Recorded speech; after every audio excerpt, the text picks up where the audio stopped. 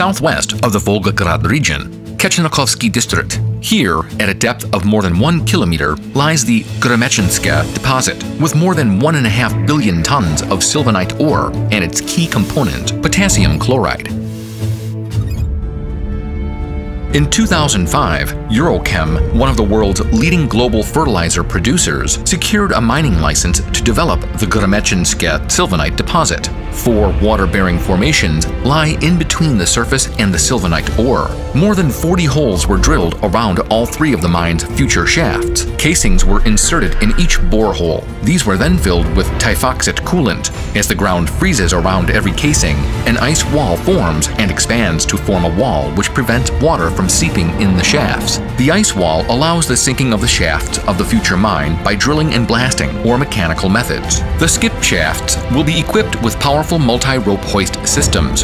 The cage shaft will be equipped with one large cage for lowering and winding people, equipment, and materials. The two skip shafts will be equipped with two powerful skips in each shaft, capable of bringing to the surface up to 18 million tons of sylvinite ore per year.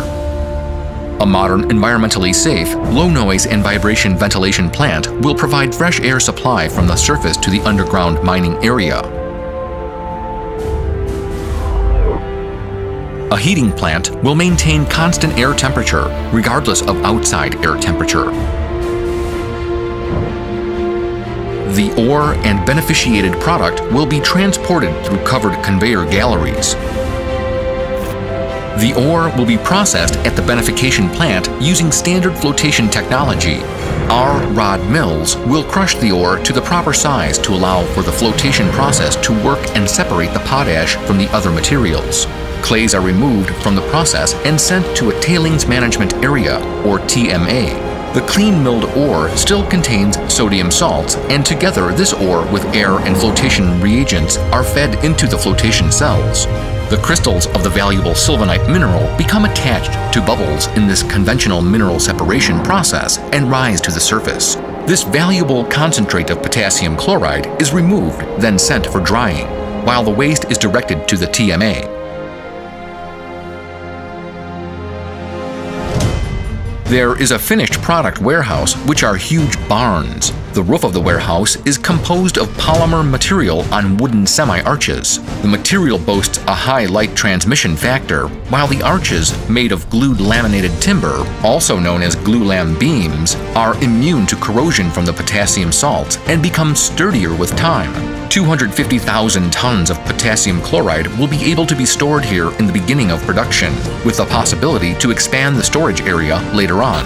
To power the site, a large multi-fed electrical substation is already commissioned. Of strategic importance, it is not only able to supply power to the mining and processing facilities, but also to transit electricity from Rostov to the Volgograd region and vice versa. The use of the latest technology and equipment allowed to substantially lower the substation surface area while improving safety and overall efficiency.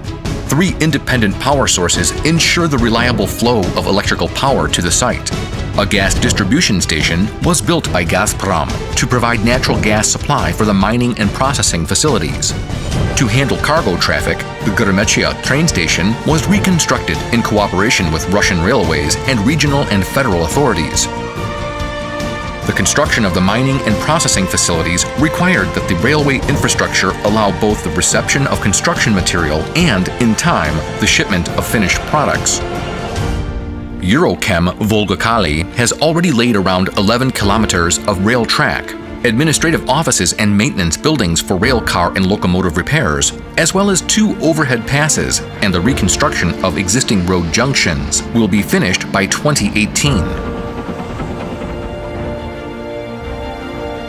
The site will have a daily train handling capacity, including reception and dispatching of four trains per day. A mine rescue unit and the fire safety station were built and are operationally ready, with more than 200 specially trained rescue workers are available on a rotation basis and on call. The station will be staffed on a 24-7 basis.